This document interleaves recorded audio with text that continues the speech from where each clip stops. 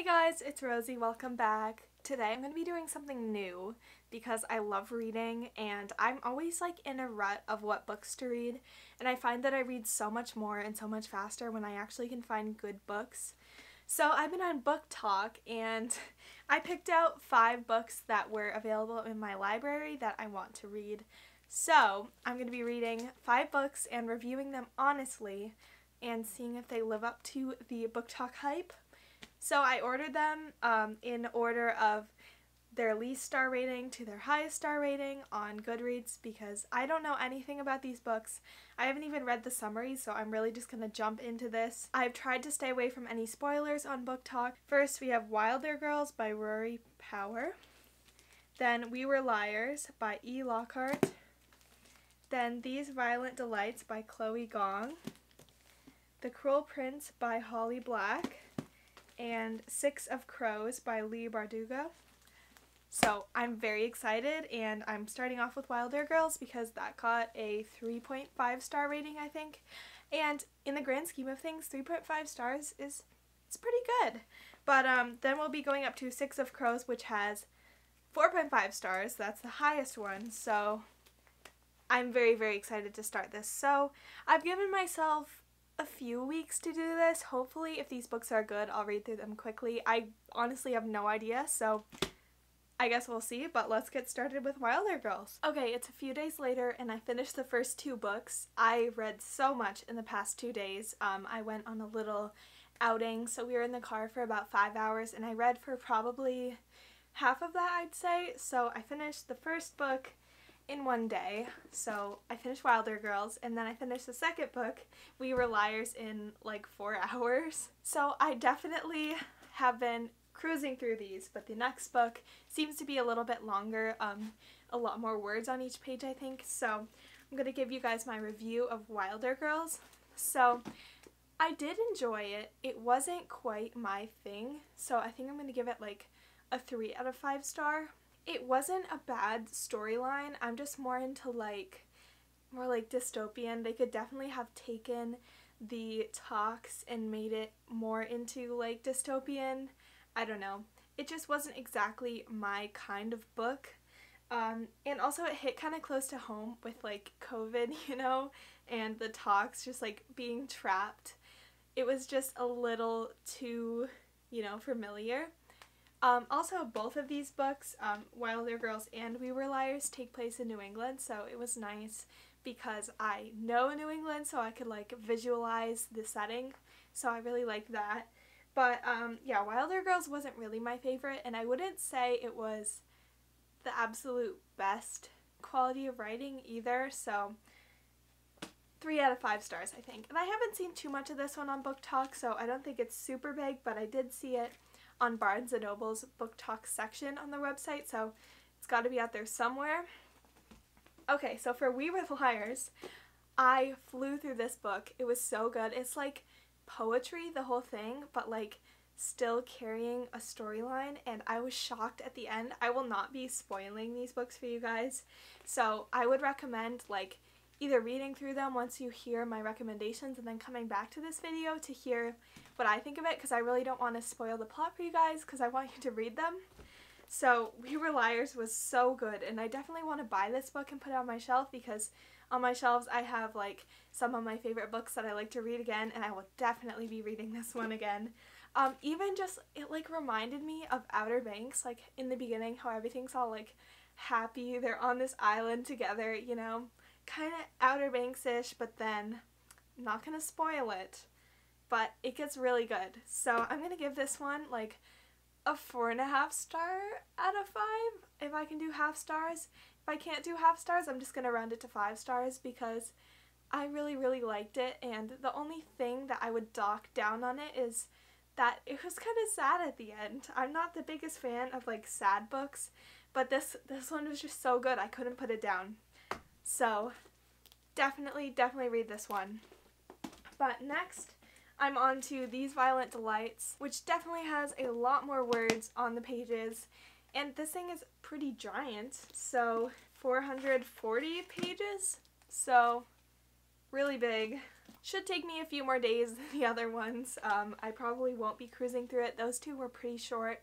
But um, now we're getting to the books that have like over four star rating on Goodreads, so hopefully they'll be getting better. But like, I don't know how we can improve from We Were Liars. That one was really good. So yeah, I will see you guys back in a few days when I've finished these Violent Delights. So it's been a little over a week, I think, and I finished the next book. So I read These Violent Delights by Chloe Gong, and this book was interesting. So it's set in the 1920s, I think, which was really interesting to see like a different, you know, era in a different place. But I'm not exactly sure if all of the details were 100% historically accurate. Um, it just seemed like some of the like medical technology was a little bit, you know, not accurate. Maybe I just don't know my history, which is very likely. But it didn't quite seem like it was completely on point with um, 1920s technology. It was a pretty good book. Um, in the beginning, I was like, oh, this is kind of gross. Maybe I don't want to read this one.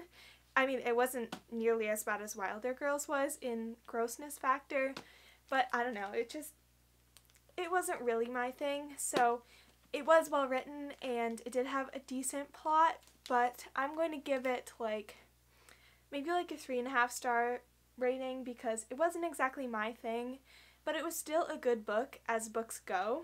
So three and a half stars, I guess. I think that's good for what it was. Um, but now that I'm starting the next book, I forget which one it is, but um, it's definitely shaping up to be even worse than this one was. I'm not super into like fairy stuff, so this next one is kind of in that realm. So I'm not exactly sure how I'm gonna like it, but we'll see. So I'll be back when I finish the next one. So I finished the last two books and it is time to give the ratings.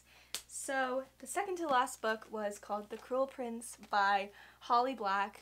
And this book was interesting. So it's about like fairies and humans being taken to Faerie to live with the fairies. And I'm not really into that kind of like you know, mythical creatures. I don't know how to explain how I like Harry Potter and not this one, but this one is a lot more out there, I guess. This was definitely not my favorite book. I don't know how to explain why. It was just a little bit too out there for me. It definitely did expand my horizons, although I don't think I would read. I don't know if it has a sequel, but I don't think I would read it if there is a sequel. So I think I'm gonna rate this book maybe like a two and a half star rating. If you're into like fairy stuff, go ahead and read it. It's not a bad book per se. It's got a pretty good plot. I'm just not really into that kind of stuff. So yeah, definitely not my favorite book ever. But let's move on to the last book, which is called Six of Crows by Leigh Bardugo, if that's how you say it. I do not know. But this book was pretty good. I liked it. Um, definitely better than the last two. This book was pretty good. Um, it's kind of still a little bit of fantasy, but it's not nearly as far out there as The Cruel Prince was.